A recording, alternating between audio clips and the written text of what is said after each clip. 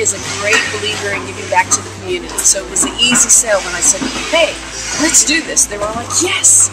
And so they signed up. I had very, we, we, in addition to donating money, our volunteers in our company just said, I want to sign up. I think it's important because it brings the reality of what the community needs. When you see the amount of product that is here, the amount of boxes that we're creating, and then the families that are coming to get them, you really understand that there are people that need and uh, appreciate